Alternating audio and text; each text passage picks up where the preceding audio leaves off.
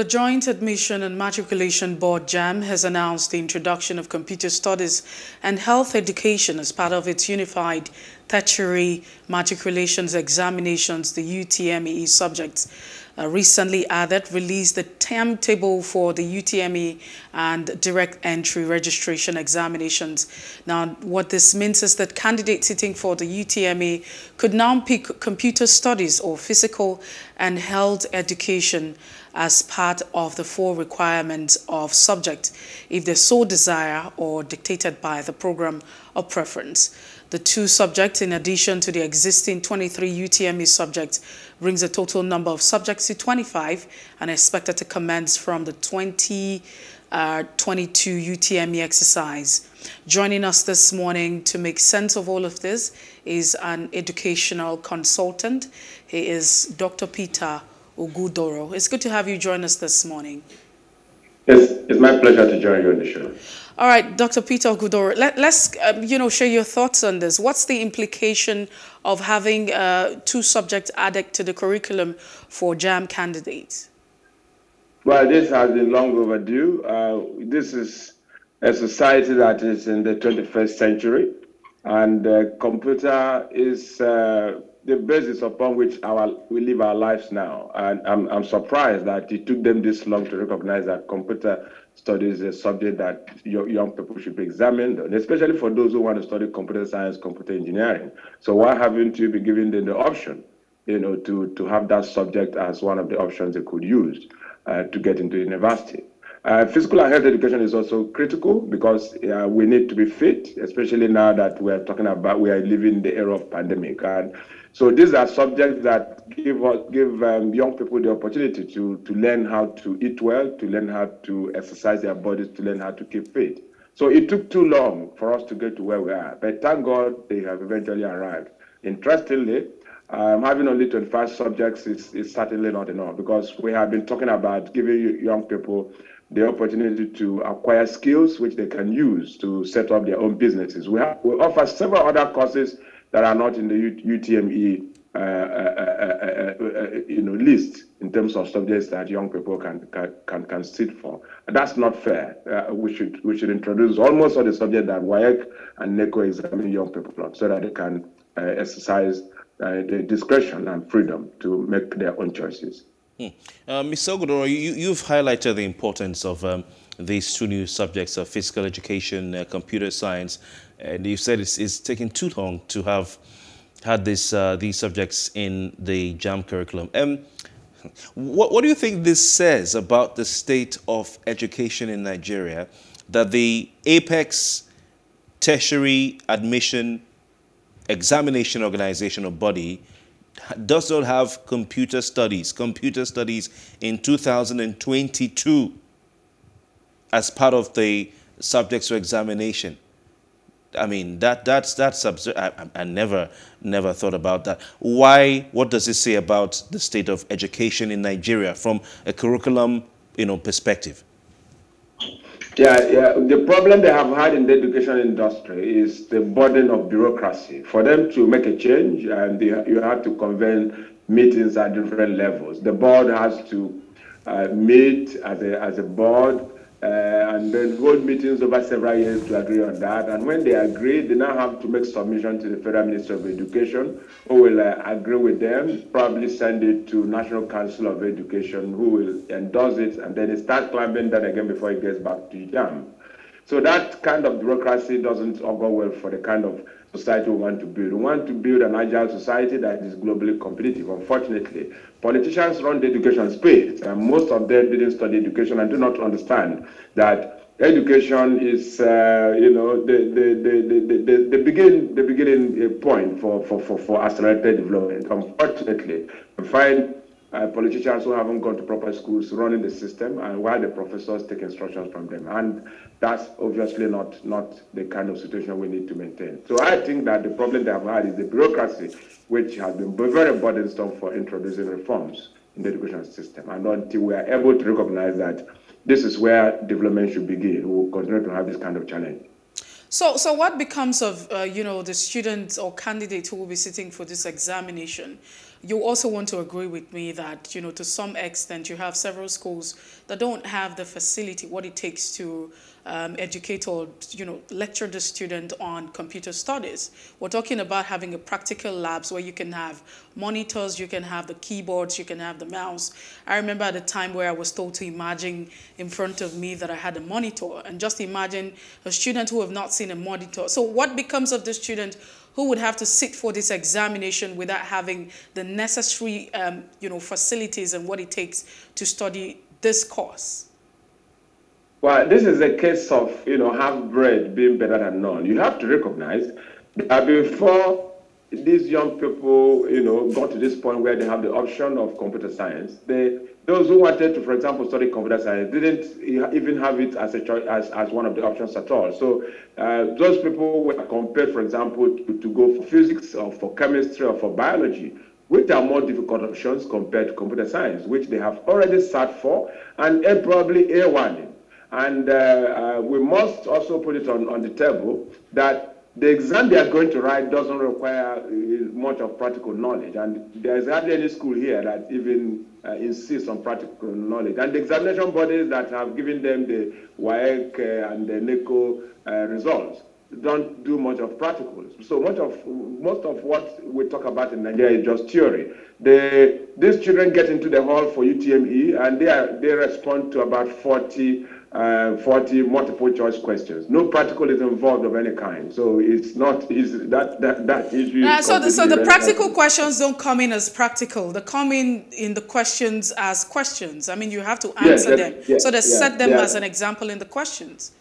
That's very correct. So they just, uh, you know, if it, maybe they ask you what, what, what, what uh, which of the following is, is an input device, and so they, they tell you a keyboard, they tell you a cable, they tell you, uh, you know, uh, they tell you a mouse, and that kind of. So you just select one. So you don't need to, you don't need to know. So anything. for a student, my question, my concern here is for a student who does not know what an input device looks like or who's never seen it.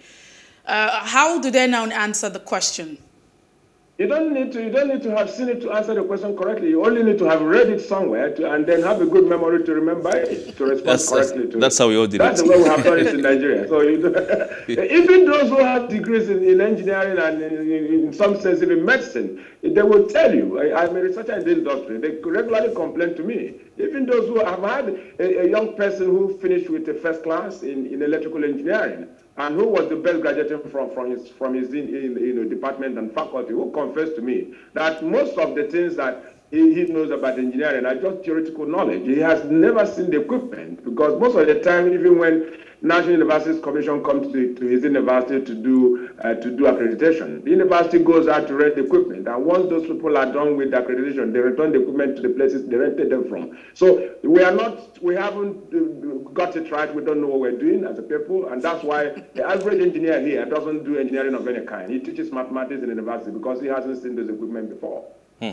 Uh, uh, uh, Dr. Ogudoro, for, for, for me, looking at and hearing that we're still talking about computer studies, you know, in, in, in this day and age, it, it sounds a bit um, archaic, you know, because now we have, you know, information technology, we have, um, you know, coding, artificial intelligence, and so on and so forth. Um, is this the right you know, uh, uh, um, exam to have in such a day and age? Or are they simply, in your opinion, just tailoring this, this, this uh, exam called computer studies to what we have on the ground as far as uh, the, the, curriculum in several, um, in, in, a, in, a, secondary system is, is concerned. So they don't want to do anything outside what we have in our secondary schools, um, do you think? And if that is the case, don't we need to mix things up and, and upgrade the secondary school curriculum as, as far as computer science is concerned to, to reflect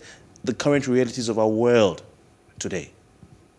You, you, you are, you are, you are a, better teacher, a better educationist than most of the people running the system from the way you have spoken. Because uh, listening to you, I can see you have the awareness about how important you know, computer and, and information technology is in a modern society. Let me tell you this. If you really want to study computer science, you don't need to go to another university because it's waste of time, really. The, what, is, what the level of about four years to teach you, you will learn from a local uh, you know, uh, uh, outfit, and you learn all of that in only two months. That's how the world works now. So parents who are very smart, they don't waste their children's time sending them to Nigerian universities to go and learn computer science. You enroll them, uh, you know, in one of the uh, shops in your neighborhood and uh, get people to work with them on one-on-one. And in two months, they become people who can create apps. My, my son is learning computer programming, and in, in only two months, he does better better programming than the average Nigerian university graduate who holds a degree even with first class in computer science. That's, that's, that's the reality of our time, and that's very unfortunate for us as a people.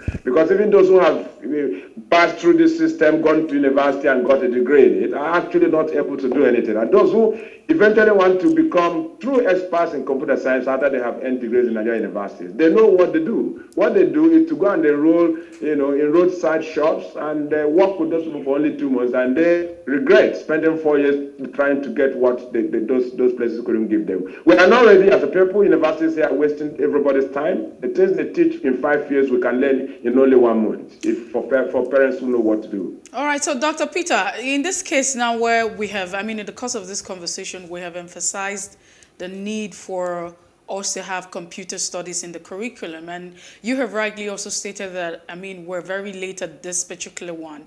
But with yes. this introduction, it still seems that uh, the students or candidates still have an option to choose. I mean, they would have to choose between, you know, um, computer studies or health education. Don't you think that we would probably just have it where computer studies would have been just a constant? Well, this is certainly, at, this stage, is half bread, which is better than none. So instead of our not coming in at this hour, you know, coming in at this hour, even though we are not going to get it right, because the, the children are just going to respond to multiple choice questions, which will not prove who knows computer and who does not know it. So if you if you cram better than, than, than John, who is able to use computer better than you. You will get into university and John won't get in there, even though he's the one who has the capacity to, to, to, to be able to use computer well. So that's, that's the area where we need to get it, get it right. And I think that um, uh, we also need to um, do this to several other subjects, you know, data processing, uh, Texas, they have all those subjects in WAEC and NECO. Why are we not allowing children to go in, you know, straight into JAMB, UTME, and respond to only the questions? No, no, the, the question here is why don't we rather make it compulsory that that is actually a constant subject? If you have to choose four subjects, then you have three plus computer science. I mean, just like you have English as compulsory, mathematics as well computer science should also be constant. That's what I'm saying. Because you would still have people, if they have a choice of choosing, then they would always have to maybe probably have to choose or go for the health education. That's what I'm saying. I mean, juxtaposing okay. that with the importance of having computer studies in our curriculum, just like you've emphasized. Yeah. Why don't we make it yeah. compulsory then? Yeah, I, I, I, I, I do not um, disagree with you on that. I, I, I completely agree. Um, at least it would be a good starting point. But let's put this on the table. In, in proper societies, in a, in, a, in a place like the United Kingdom, Germany, you know, America, and United States of America, what our children are learning in their second year as computer science students are things children finish primary school already knowing. So you don't need to examine them on that for them to get into the because it's taken for granted. Children learn this at home, right, at primary school level. You know, as a student, as a student in England, you know, uh, as a graduate student, I remember sometime I, uh, there was a time I did the research on this, and I discovered that even when people get into the university from, from their homes in England, you know, to join us in universities, most of them had already mastered the things universities were teaching, and they thought that universities were wasting their time. And so they were paid more, greater attention to things that universities were not teaching. So, um, but again, look at America, for example. America doesn't even, you know, uh, uh expose you to an exam that will require you to respond to four subjects. You respond to only two fundamental subjects, evidence-based reasoning and writing, and then they you a math because it's taken for granted that everybody has the basic knowledge it takes to use computer to, to learn and, be, and benefit from higher education. That is not where we are. But until we are able to, you know, improve internet access, uh, uh, improve income levels so that parents can also buy laptops for their children, we will continue to pretend that we are teaching children computer science when they are not learning anything. Hmm. Interesting indeed. Uh, we have uh, a number of more questions for you because there's a lot to talk about as far as uh, the Joint Admissions Matriculation Board is concerned, especially whether it's even uh, necessary in this day and age in Nigeria's education system. But thank you very much uh, for your time. He's an educational consultant and uh, his name is Peter Ogudoro. He's been our guest analyst on the second major topic on the breakfast this morning. Mr. Ogudoro, thank you very much for your time. Yes, Dr. Ogudoro, that's important. I, I, I, apologize with my hands in the air. Um, uh, Dr. Ogudoro, I'll add a PhD at the end as well. I apologize, sir. Thank you very much for your expert analysis. Thank you, sir. Do have a, do have a great day. Thank you, sir. Thank you very much. Uh, Mercy, scrap JAMB or not? That's what I had wanted to ask you, but no time. Uh, producers won't allow us asking. Like, we'll deal with them later. But I mean, is it even necessary? I tell you what, I, I, have had opportunity to be in the Ghanaian system and Nigerian system do more in the Nigerian system. You finish secondary school, you go to university. If you are smart, you should be able to pass your WAEC. And if you pass your WAEC, voila. I've written JAMB here. And people were jumping over the fence to, to pass, um, what do you call it, um, Expo. You know what I'm talking about, Mercy. Come on. why, why you why you why you looking at me like you don't know what I'm talking about? People were sitting it, it, it mercenaries. You had you had even the invigilators allowing people to come in to write for other people. So the purpose is defeated. And, and JAMB had become, over the years, a stumbling block to a lot of smart Nigerian students not being able to get I totally, into university. I, I totally so, agree with so, you. So, I mean... Do, and do people have constantly found ways, you know, to maneuver the system and get into the system because so we have made about, that, you know, very compulsory. You know, we, are ex, we are. We're, we're a developing nation and let's just hope that we're evolving. Maybe it should be scrapped because do you know how many people remember it was it's a prayer point? People and once you write it, you don't you, you, you can't go back again. You know, so why are we placing a stumbling block on the path of our students who spend years, especially in times when things are hard? Indigent students who may not be able to afford writing JAMB over and over and over again, why do we place a stumbling block on their path to university? So, so I'm thinking that that would be a conversation for another for day. Another day. But, don't, but don't look at me like you don't know what people are doing in the No, no, I do. But on, it, it, took me some time to even understand that. I mean, if I tell you some of the stories and experiences that I have had. Did you? I did mean, you? Did you carry? No, I was actually arrested when I was underage. Uh, I wasn't even up to 18 because I found myself around the premise where exam was being written and I was taken away and then I was locked up for no reason. I didn't even know what that meant. They said you were around the premises. I'm like, what's going on? Oh my. So I just you stopped you by were wondering, cousin, you were loitering. I wasn't loitering. You, you know, know, when you had like a ward who was writing an exams and then you needed to just wait by and oh. then you guys can just get home, home, together. Hey. However, that's enough. Uh, would definitely come through with the conversation, of course, uh, with the JAMB conversation some other time where we talk about whether or not to scrap the system or um, all of the formalities and the process that we're experiencing currently.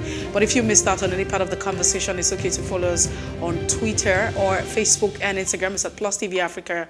And do subscribe to our YouTube channel at Plus TV Africa Lifestyle and Plus TV Africa. I am Mercy Ebokpo. Have a fantastic Tuesday. And I'm Kofi Bartels. We'll be back tomorrow. Enjoy the rest of your day. Good morning.